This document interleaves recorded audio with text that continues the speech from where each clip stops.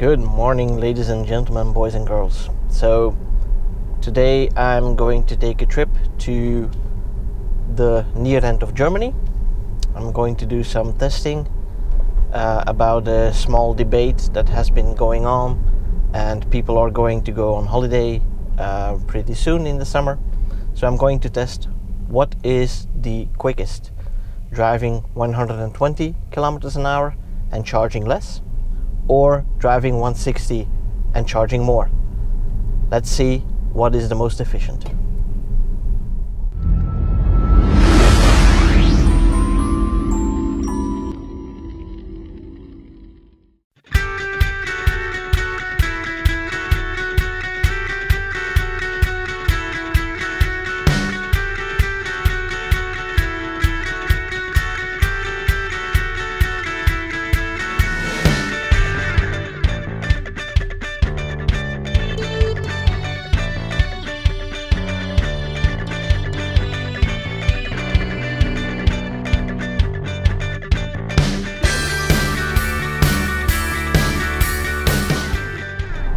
Now what I've noticed is that I've put my summer tires on that. Those are the 21 inch Arachnids with uh, Michelin Pilot Sport 2s on there.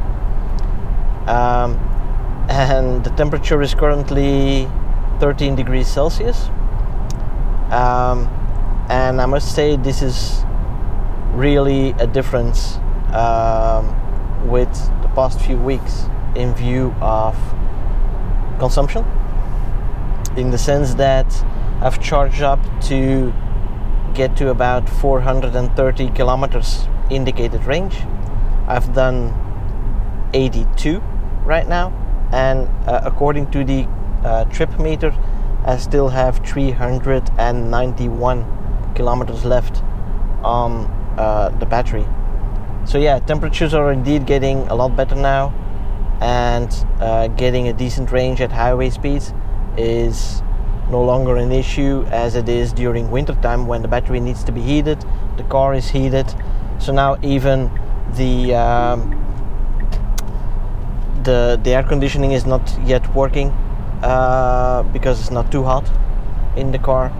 Um, so yeah, basically more or less ideal conditions uh, to do our trip today and to get some decent range out of the battery.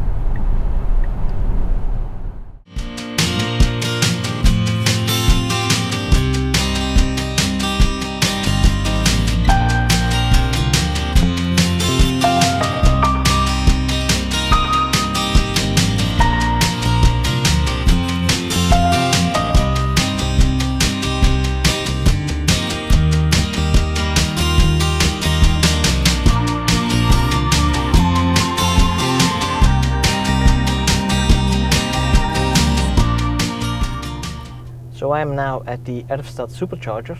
I'm uh, charging up to about 50%. So when I arrive back here, I don't have over 50% charge left. Um, I have this route uh, plotted right now, uh, which takes me about 30 kilometers away from here. So that's a 60 kilometer round trip.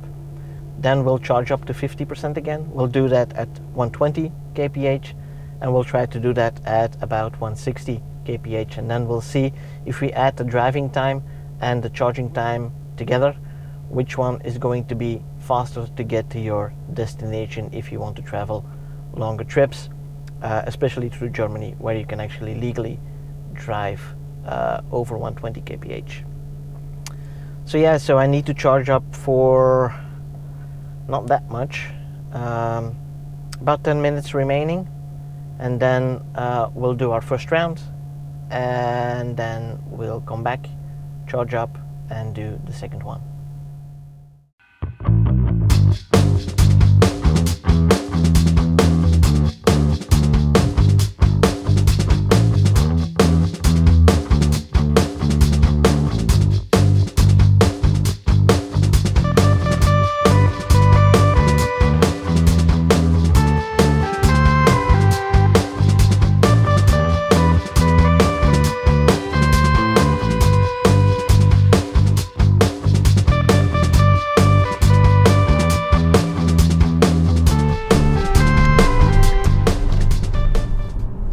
We are currently at our turning point.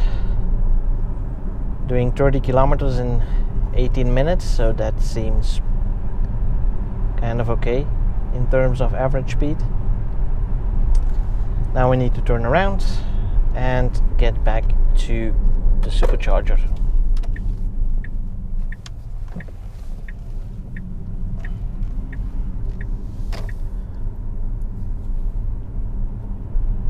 that's not good.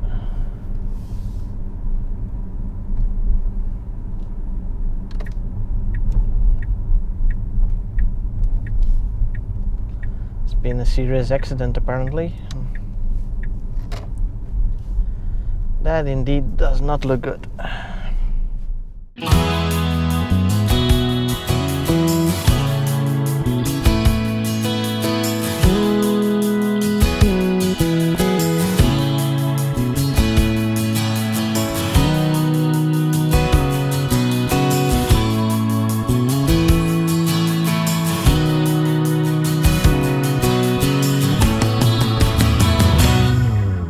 So I'm back at the supercharger now, and uh, we've got an average consumption of 209, 62 kilometers done. Anyways, it seems that now we are down to 161 kilometers. Uh, so let's charge up again to, um, let me see what that is in percentage, uh, language units, energy. So that actually means 35% from 50 to 35, so that's 15% for that trip. Let's see what the uh, 160 kph run does for that.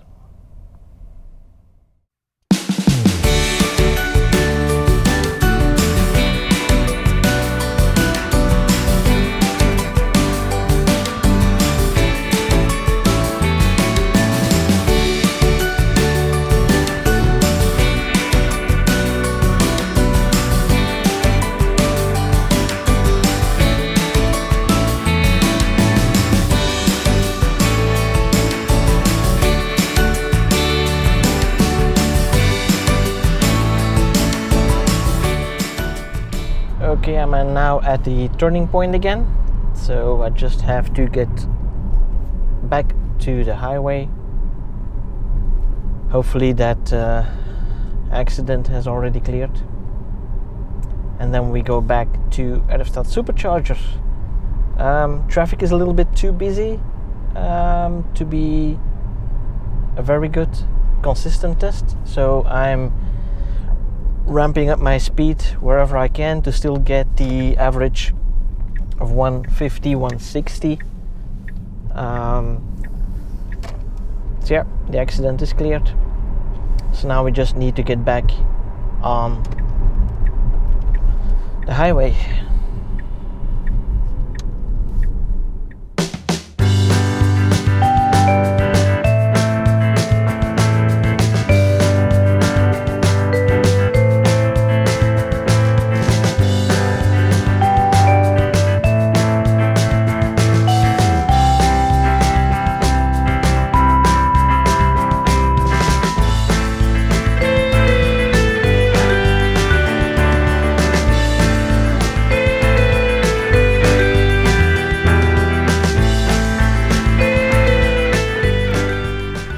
So when looking at the uh, videos for the first one at 120 kilometers an hour, uh, or the attempt at least, um, I did 39 minutes in total, including the section here with the traffic lights, and I charged for 11 minutes, so that's a total of 50 minutes.